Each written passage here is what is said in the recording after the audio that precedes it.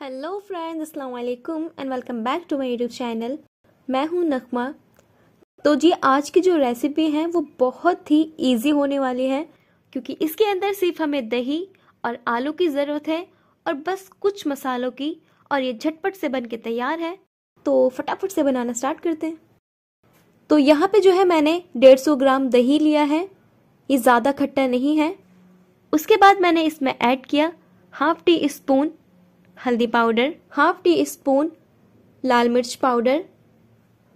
यहाँ पे मैंने उसके बाद ऐड किया टू टी स्पून धनिया पाउडर। उसके बाद इसमें ऐड करेंगे सॉल्ट, जायके के मुताबिक। ये मेरे जायके के मुताबिक है। और ये है हाफ़ टी स्पून काली मिर्च पाउडर।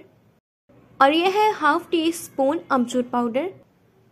और हाफ़ ही टी स्पून इसमें गरम मसाला पाउडर भी ऐड कर देंगे।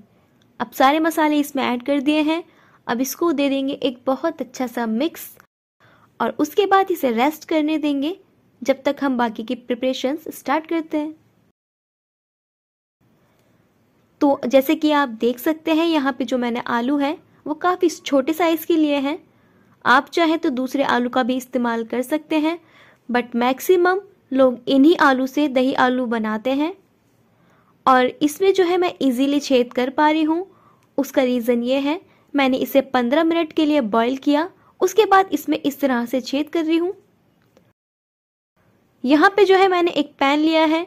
उसके अंदर मैंने थोड़ा सा ऑयल डाला है और सारे आलुओं को इसी पॉइंट पर अब इसमें डाल देंगे। और इसे अब करेंगे शैलो फ्राई बहुत अच्छे से। बहुत अच्छे से का मतलब है कि इसमें इवनली पूरे में अच्छा सा ब्राउन कलर आ जाना चाहिए।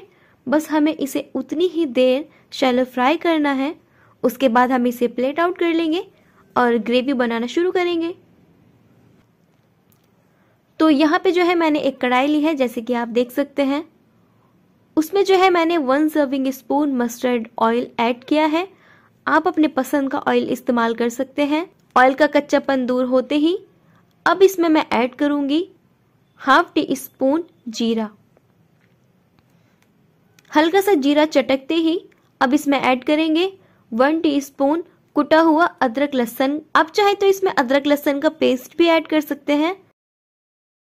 और अब इसे बहुत अच्छी तरह से भून लेंगे जब तक कि इसका कच्चापन दूर नहीं हो जाता।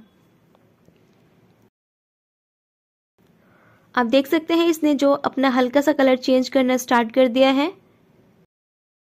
अब इसी पॉइंट पर हम दही ऐड कर देंगे, जिसमें हमने सारे स्पाइसेस ऐड करके रखे थे। तो आप देख सकते हैं, दही जो है हल्का सा फूला फूला सा हो गया है। एक्चुअली जो मसाले हैं, वो हल्के से फूल जाते हैं। अगर इस तरह से, पहले से दही में या पानी में अगर पहले से इसे रख दिया जाए तो मसाले जो है फूल जाते हैं। और वो टेस्ट और अच्छा करते हैं। और जो है, उन्हें भूनने में भी ज़्यादा टाइम वेस्ट नहीं करना पड़ता, क्योंकि वो जल्दी से भुन जाते हैं। तो आप देख सकते हैं, बस मैंने इसे अच्छे से मिक्स किया। उसके बाद मैंने इसे जब तक के लिए भुनने दिया, जब तक कि इसका ऑयल जो है सरफेस पर नहीं आ गया। ऑयल सरफेस पर आते ही अब इसमें आलू ऐड कर देंगे, जिसको हमने शैलो फ्राई करके रखा था। आप देख सकते हैं, इसके ऊपर जो कलर है, कितना अच्छा आया हुआ है और पूरे में इवनली आया है। तो बस अब इस आलू को भी हम सबको इसी में ऐड कर देंगे। और अभी से दे देंगे एक अच्छा सा मिक्स अच्छे से मिक्स करने के बाद फिर से हमें वेट करना पड़ेगा चार से पाँच मिनट के लिए ताकि आलू के अंदर तक मसाला जो है चला जाए।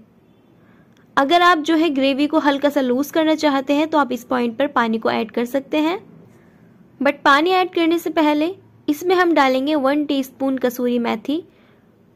जैसे कि मैं हमेशा रोस्टेड डालती हूँ क्योंकि जो रोस्टेड कसूरी मेथी होती है, उसका जो जायका होता है, वो अलग ही आता है। तो यहाँ पे जो है, मैंने वन टीस्पून रोस्टेड कसूरी मेथी डाल दी है। एक बार और अच्छे से मिक्स दे दूँगी। और अब जो है, मैं हल्का सा ग्रेवी को लूज़ करूँगी। और इसके अंदर मैंने थोड़ा सा पानी ऐड किया है। आप देख सकते हैं ग्रेवी हल्की सी लूज़ नज़र आ रही है।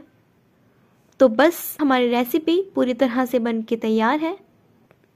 अगर आपको मेरी ये वीडियो पसंद आई हो तो प्लीज़ मेरे चैनल इट्स लजीज़ को सब्सक्राइब कीजिएगा और पास में लगे बेल आइकन को ज़रूर प्रेस कीजिए ताकि मेरी वीडियोस की नोटिफिकेशंस सबसे पहले आप तक पहुँचे। अपने फ्रेंड्स और फैमिली के साथ बना के ज़रूर शेयर कीजिएगा। मैं मिलती हूँ आपको अपनी नेक्स्ट वीडियो में। जब तक के लिए गुड बाय एंड अल्लाह हाफिज़।